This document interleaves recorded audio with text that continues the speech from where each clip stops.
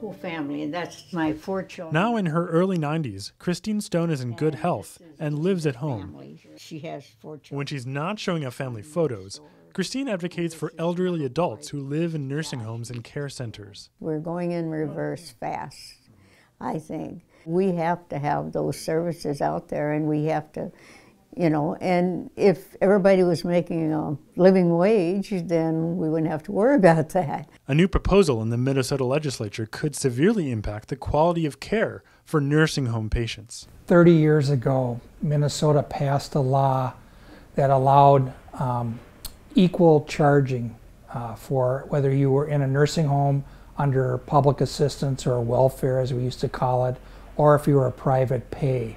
They could not charge a private pay patient any, any more than they could charge a, a Medicaid patient. And the whole idea behind the bill was to be fair, to make sure that the levels of care were the same regardless of your economic status. If in fact they repeal rate equalization, it, it doesn't hold anybody accountable and we have to get real about reimburse, reimbursement rates. But if the rate equalization goes, that could go with it too.